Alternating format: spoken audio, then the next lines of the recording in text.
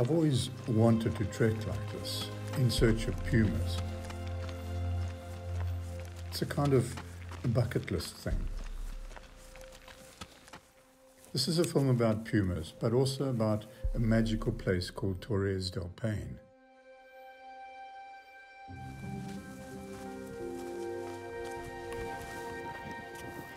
We wove the story around two main mythological characters. Ancient cultures here considered condors to be the messengers of the gods to the heavens. But it is mainly about pumas. It is where Latin American nature is at its most extravagant, showing off in a way you just don't expect here.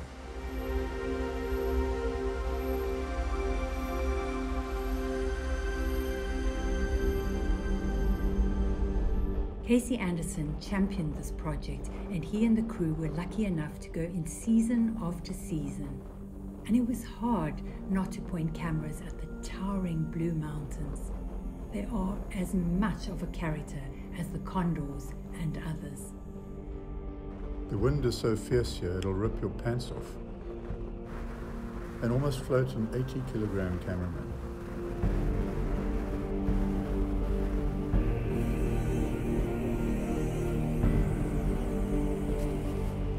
Casey and the crew are here for a very specific reason.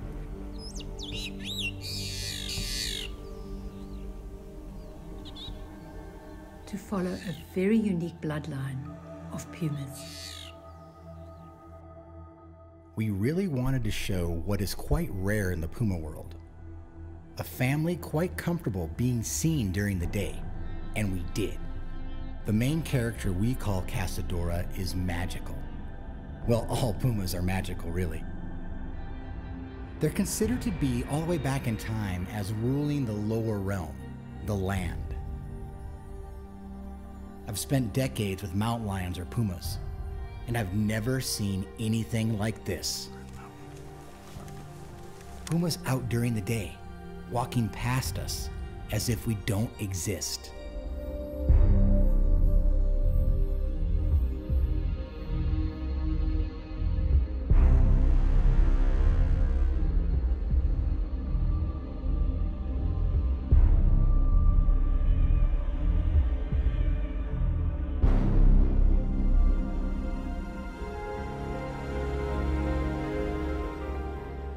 Renee, one of the key producers, was really out there doing the time as well. This is my place. I've known these pumas for years, and I know how hard it is to follow. Mostly, it's on foot. It's tough going. And a lot of the time, while we are searching, they're watching us.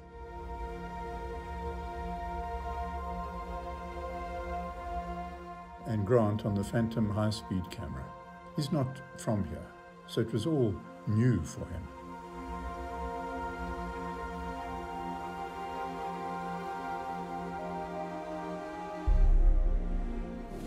Uh, I didn't mind that.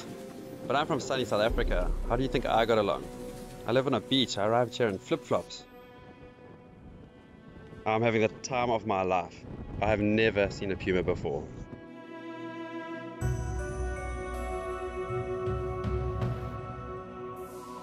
Thank goodness there were spare boots in camp. This is one of the harshest places on the planet.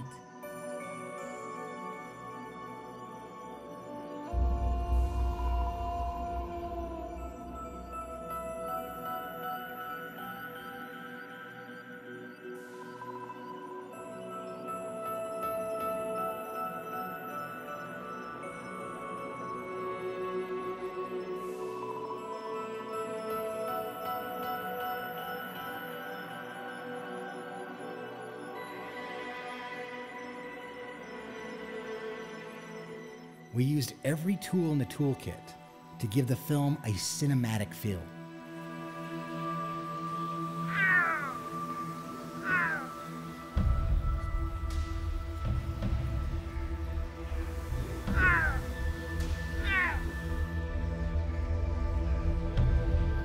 We had the most wonderful and talented Chilean crew working alongside Casey, Dom, and Ben from the States, and of course Grant from Africa. It was the United Nations of film crews. but each with a different talent, and it paid off.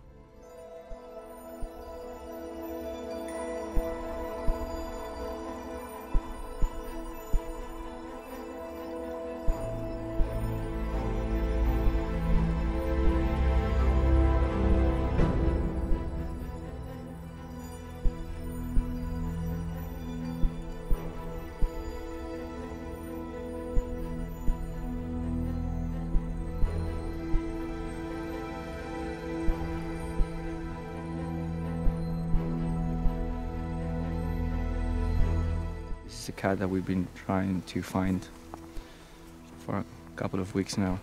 We've been observing her, filming her for the last two, three years almost.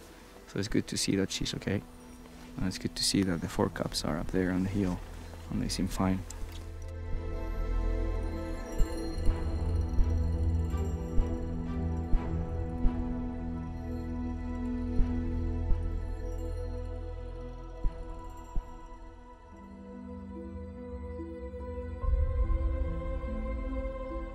Much of this was about following cubs. To be able to tell that story of the next generation.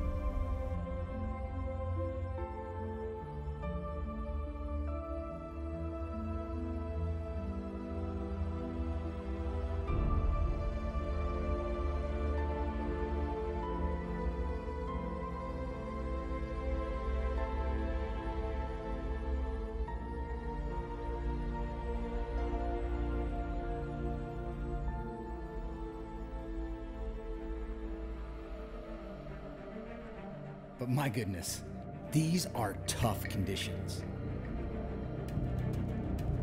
Ben and Dom are indeflatable. When you get stuck in a snowdrift out here, it really is a life or death moment when gale force blizzards pick up in an instant.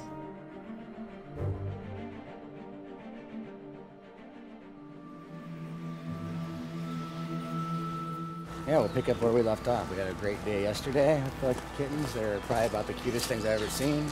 There always could be other pumas that come into the area, come into the kill specifically, so lots of chances. A lot of unknown. We got some snow. It's gonna be cold, but it's gonna be fun.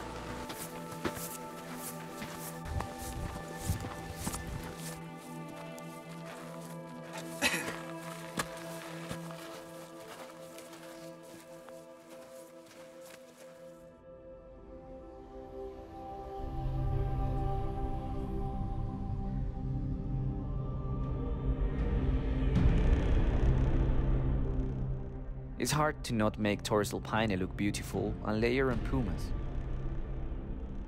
And we all just fell in love. And add to that these relaxed cats that will carry on, even hunt in front of you. And it seems perfect. The place is just so beautiful. It begs to be in the film as a character as well.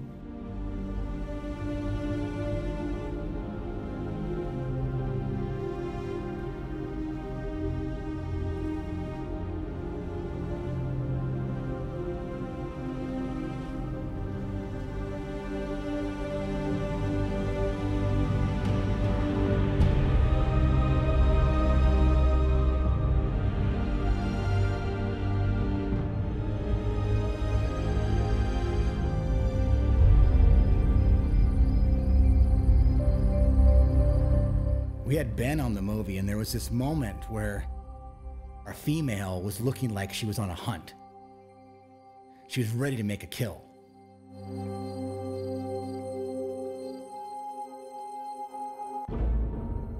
But just then, she went out of sight, and all of a sudden, Ben is like a guanaco himself. He is running, chasing the action, disappears over the hill.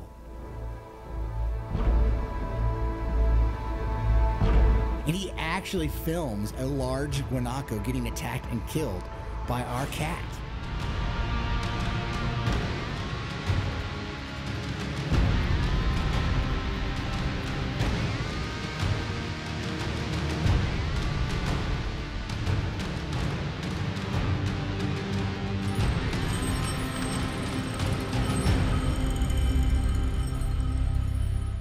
It's a great moment.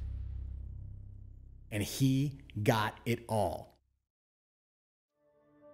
We're all pleased that the puma did kill the guanaco.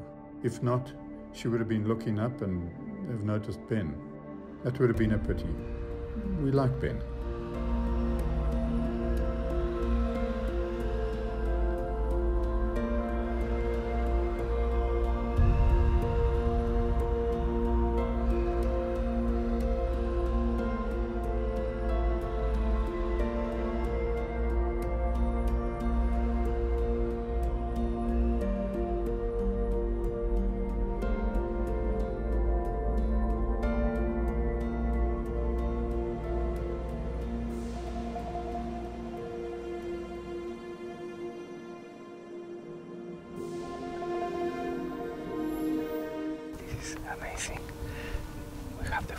Here in front of us. They are playing, rolling. They went to sniff, to the kill. All of the four caps are hanging out all around the place in front of us. It's amazing.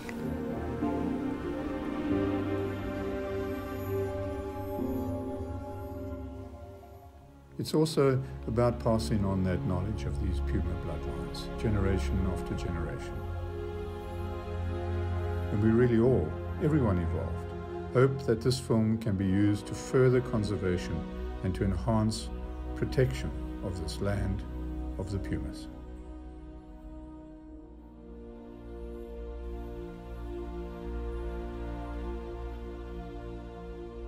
It is, after all, the place where the fragility of nature, the pumas, and even our own, is so apparent.